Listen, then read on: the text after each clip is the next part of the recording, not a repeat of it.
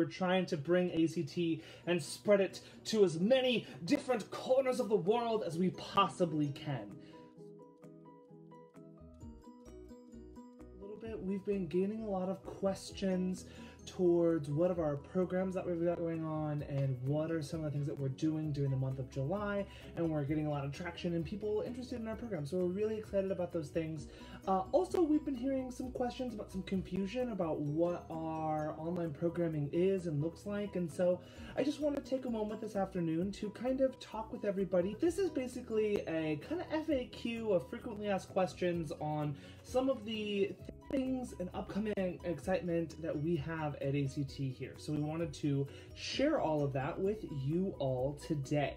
First and foremost, I want to take a moment to really shout out Arts Washington. Uh, thank you, ArtsWA, for your wonderful, uh, amazing grants that you've given to us. We are really grateful in terms of all of those things that are there. Uh, it's really helped us keep offering our online programming as we're going through things. The first thing I'm going to address today is our fall auditions. Yeah, fall auditions! Woo!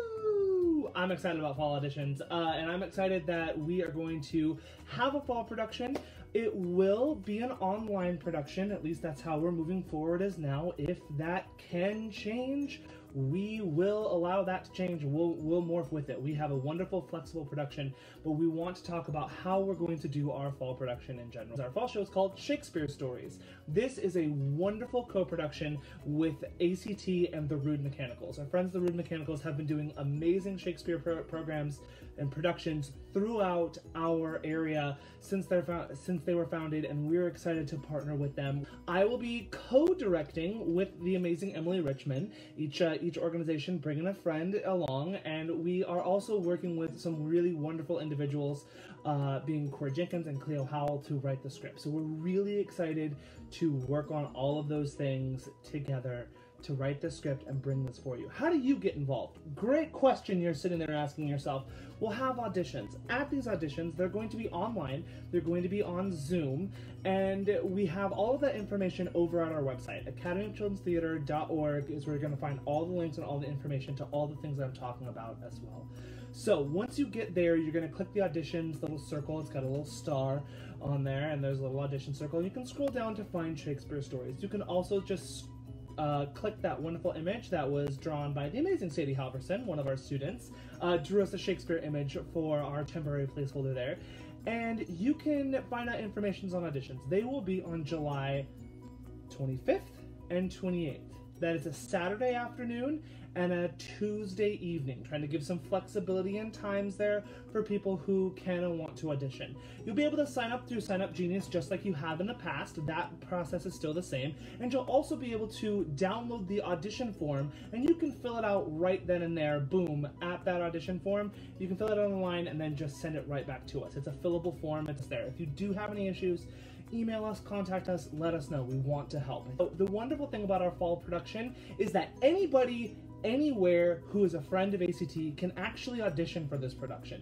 It is so fun and so unique in the sense that because we are a little bit like we're going to do it online because of COVID to be safe, that means that if you're an ACT friend or family and you have moved away from ACT, you can actually still come back and be involved in a production. Or if you're an alumni and you're no longer near us as well, we would love to have as many folks get involved with this production as we possibly, possibly can. So what are the audition requirements for Shakespeare stories? Well, what we would love to have happen is that you present a 30 to 45 second monologue or story that represents you.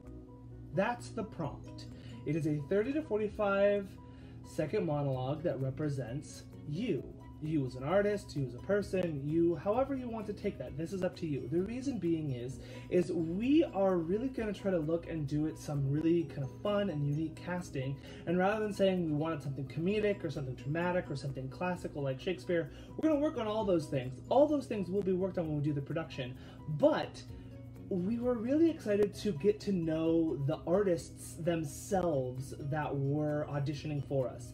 So that the the prompt is a monologue or a piece that represents you. There's also a question on our audition form that we're going to have everybody ask that is about how art relates to your world and how you can craft art and how creativity relates to you and your world. Uh, this production, we're so excited to be able to explore the different, diverse aspects of art and culture and our art and our culture and our people and everything across our board because we want to know how art really works and affects you and we're going to look at that through shakespeare this really classic platform and we want to try to open that platform up to anybody and everybody. The rude mechanicals are having some wonderful conversations with us about what we can do to help make shakespeare accessible and then we're going to try to make it be as fun and awesome as it can be for the modern audience. So we're really excited about shakespeare stories and we hope that you are also excited about shakespeare stories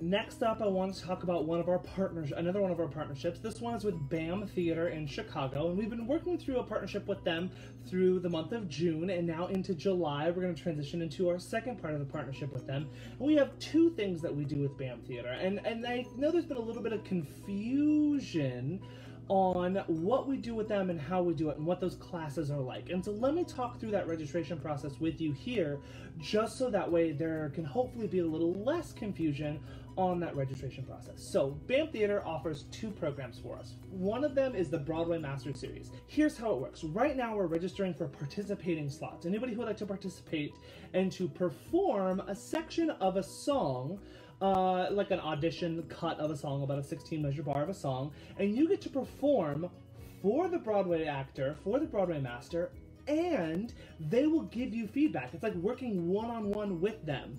Um, we've had a couple of students participate, and it was really, really awesome.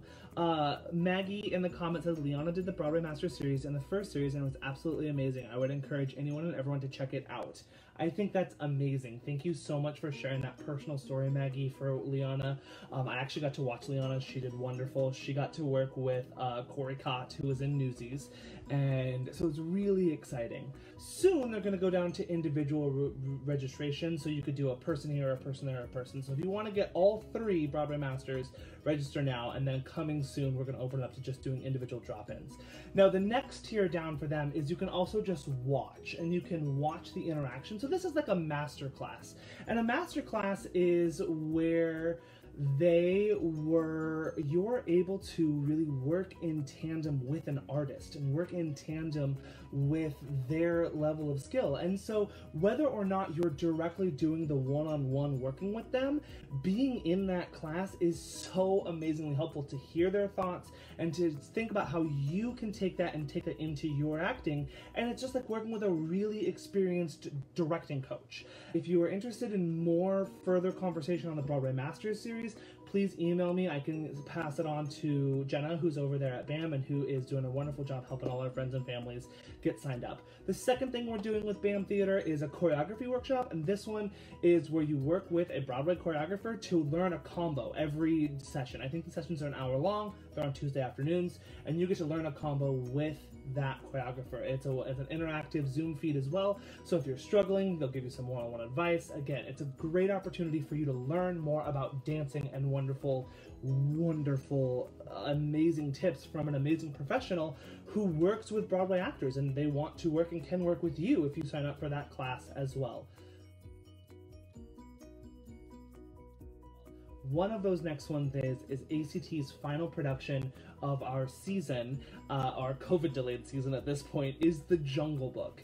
Emily Richmond has been working with the kids and the cast and the crew to put together this amazing production. And it's going to be such a wonderful, wonderful occasion to get to share the work of these students with you. Streaming for a limited time only, that's right, it's a limited time offer.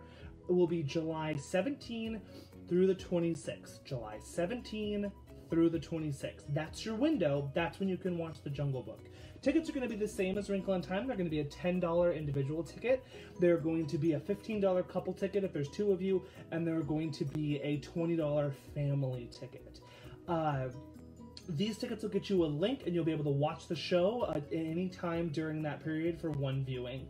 Uh, if you buy multiple tickets, you can view the link multiple times. That's kind of how that works. I will tell you one of the things that I'm most excited about is With this show, we had a lot, a little bit more uh, runway and some more prep time, which means we got to have the kids kind of make their own costumes. I am insanely excited for you to see all the fun and crazy things they ended up doing to make themselves into the creatures and the world of the Jungle Book. It is going to be a really fun thing. Now, on top of that, we have two or three different events that are going to pair with this as well. So, amazing, our amazing booster president, Maggie Schwan, ha- is going to be like rock star. She makes these super, super wonderful cakes.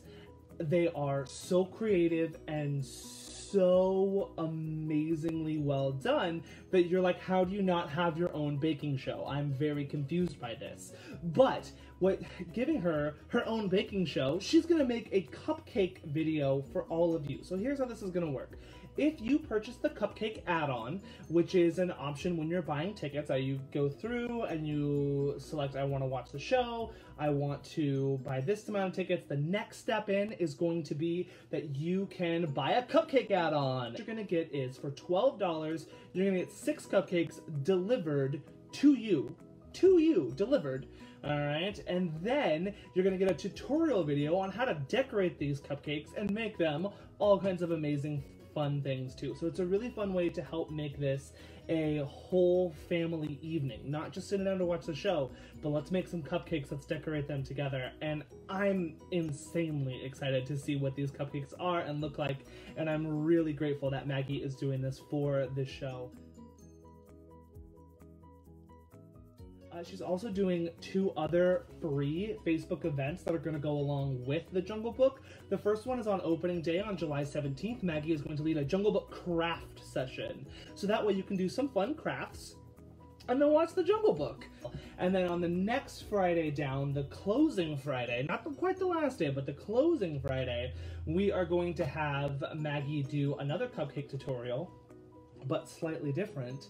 Uh, and so it'll be a really fun way to also look at how you can do some cool um, cupcakes decorating and just getting involved and making this more of an evening and an event for your family. So we're really excited for those two Facebook free live events. Those two are going to be our free ones for this month, as well as later in the month, uh, myself and the interns are going to come on and we're going to do our play club. We still have not announced our title yet for our play club, but the play club is where we're going to read a play. We're going to read a play or part of a play together here with you all on this platform. We'll send you a link. We'll send you a play. You get to make some choices. We get to act together, and so we're really excited to do that near the end of the month as well. Oh, one more thing. Saturdays. I totally forgot the thing that I also get to do on Saturdays. Adrian and I will still be here. We will still be doing the watch alongs every Saturday at noon. We moved to Saturdays right before the 4th of July, and now we're going to be back here just because of classes and teaching. Uh, so, watch alongs are going to be here. This week's watch along pairs with our class theme, so we're going to watch Harry Potter and the Sorcerer's Stone, our very first Harry Potter movie. Next week, to pair with Star Wars Week, we are going to watch. Star Wars A New Hope, again, the very first Star Wars movie, so we're excited about that. The next week after that, we're going to watch ACT's Jungle Book, and we will have Jungle Book cast members uh, being able to come on and join us as well, so we're very excited for all of that. And then following that, we're going to wrap up our month celebrating some musicals, and we're going to watch Hairspray 2007. There you go. Get a little, get a, bit, a little, little bit of Zac Efron up in here. Classes, the, the main question that I'm hearing is that the section listing on our on our website is a little confusing. And so I want to talk through why we have section A, section B, section C and how that works here just a little bit to help that. At the end of the day, really the only difference in the sections is just going to be time and date.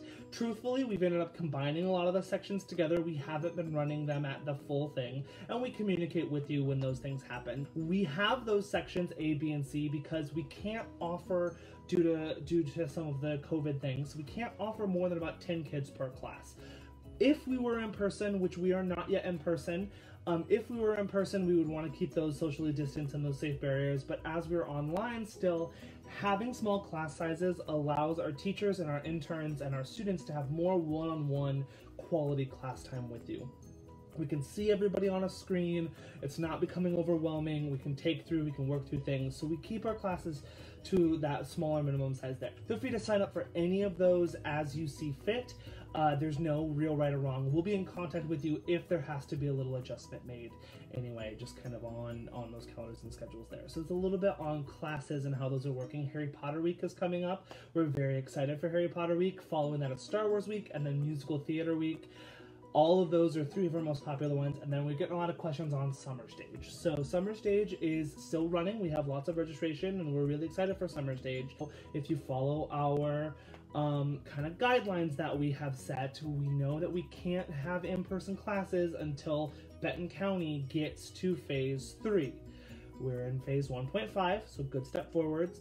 Um, so we have until the end of this week to be three weeks out, and we can try to get there um, we will be in touch with those of you that have registered for class and let you know whether it be online or in person. We are going to make sure that if it is an online production this year, that it is a really fun and really engaging uh, online production, that it's something that you will learn from and grow from and experience from.